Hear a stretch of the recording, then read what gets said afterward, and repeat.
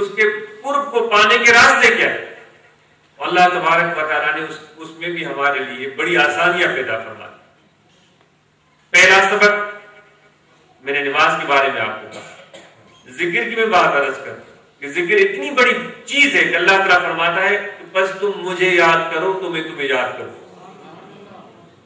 और फिर अल्लाह तला फरमाता है जलीस मन जो मेरा ज़िक्र करता है जो मुझे याद करता है मुझसे लो लगाता है। अल्लाह तला फरमाता है, मैं उसका हम नशीन होता, मैं उसके साथ होता। हूँ कितनी बड़ी बात। अल्लाह तला फरमाता है, ये हदीस कुदसी है अना जलीस मन जकरनी, जो मेरा ज़िक्र करेगा, मैं उसके साथ रहूँ। तो जो अल्लाह तला के साथ है, उसको फिर किस चीज़ का गम?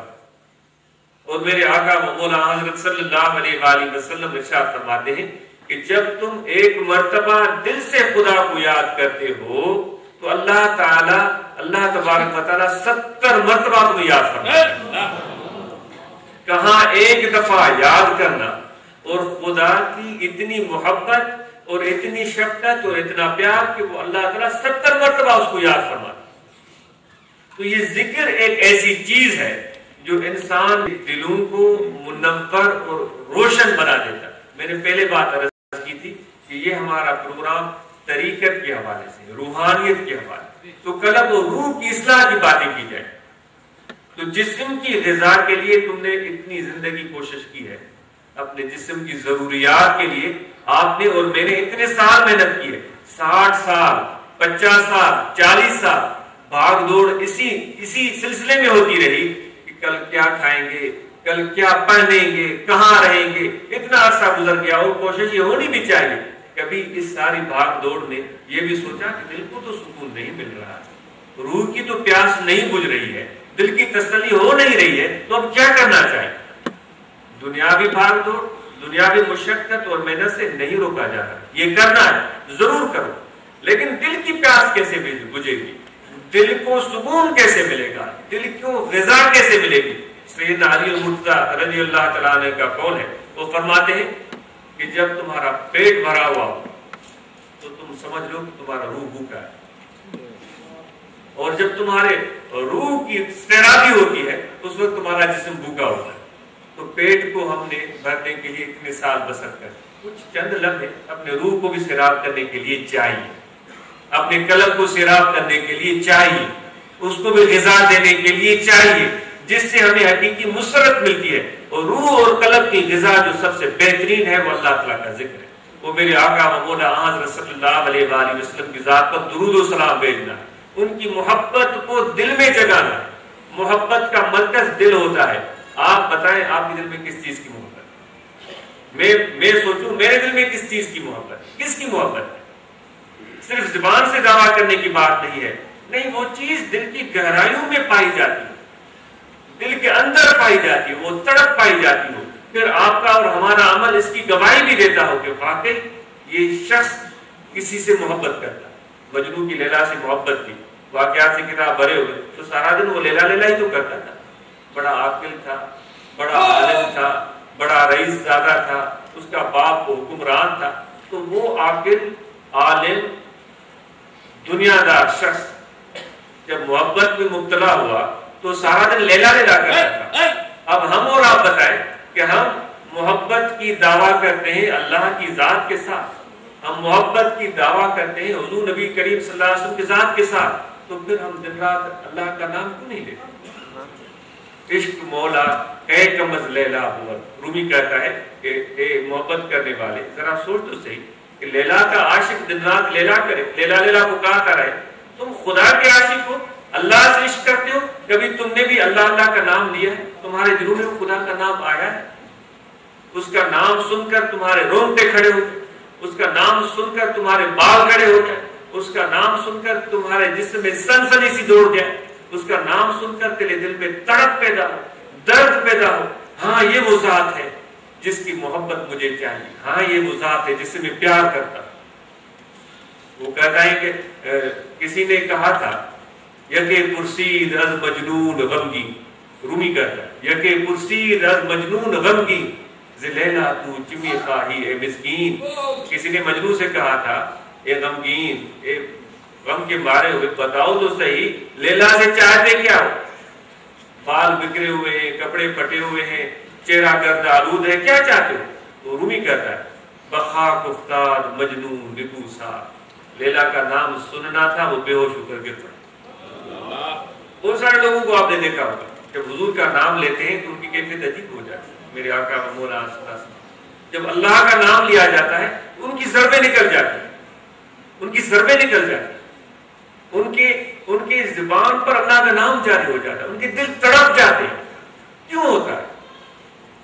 मजनू भी तो गिर रहा था तो बेहोश होकर गिर पड़ा।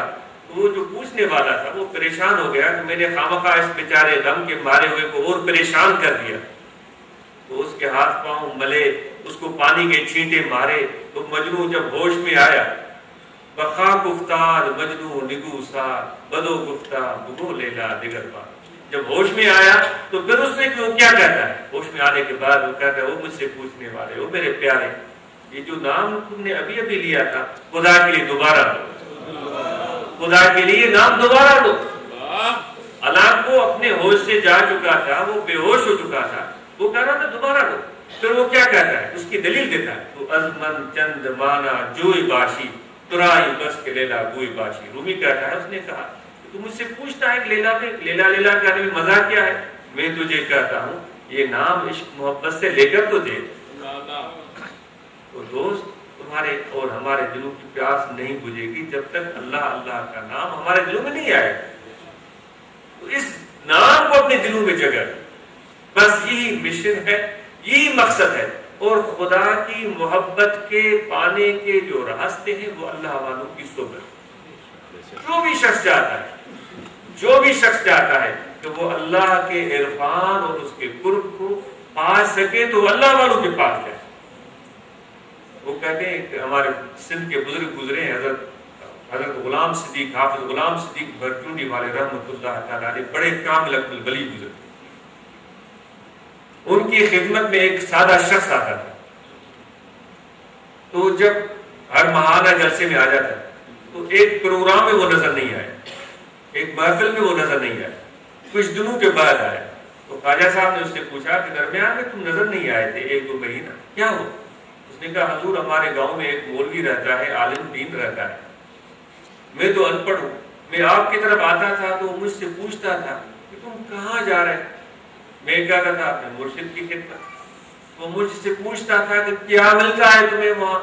तुम्हें उसको कहता था अल्लाह मिलता है। वो कहता था वो मुझे कहता है बेवकूफ़ क्या यहाँ अल्लाह नहीं है?